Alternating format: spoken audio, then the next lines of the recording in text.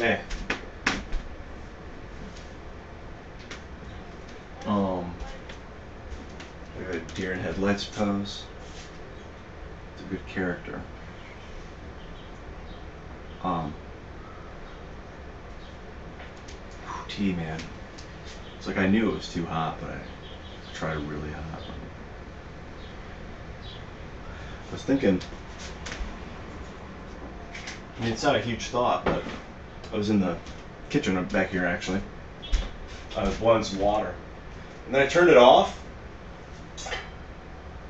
I was going about my business thinking very in depthly about something, very minute, idiosyncratically about something, like defining.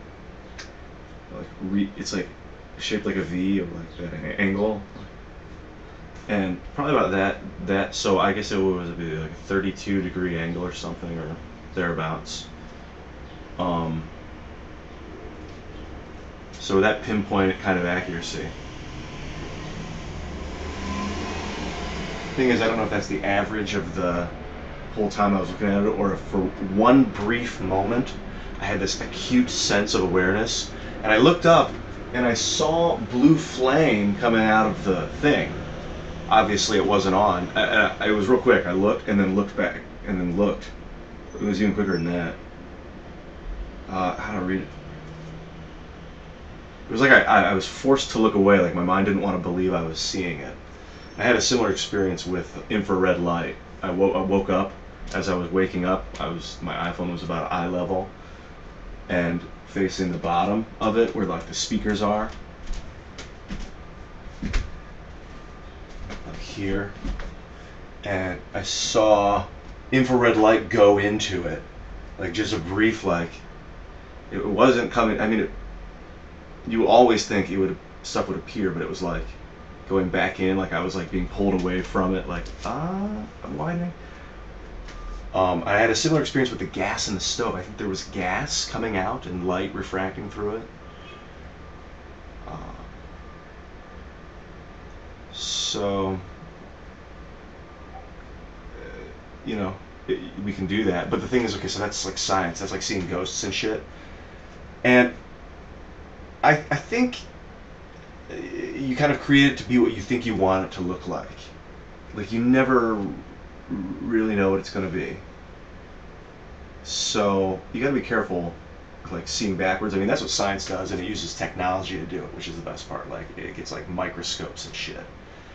But like with ideas, you can like reli- well, uh,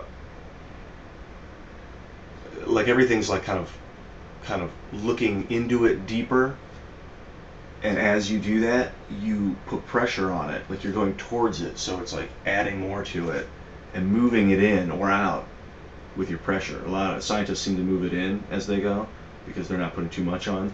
Some people can kind of uh, push too hard without paying attention to their surroundings and even explode cells and things and shit themselves, you know.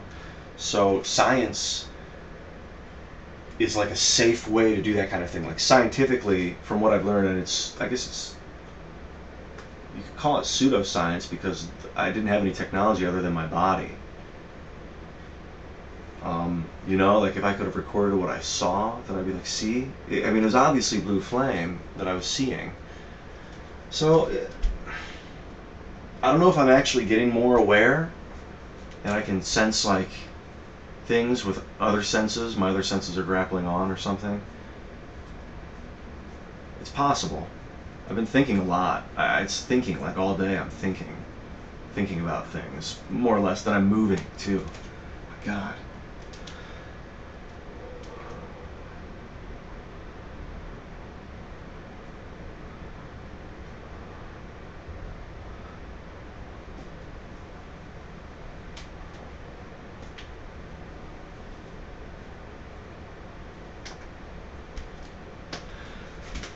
A, it's a good combo.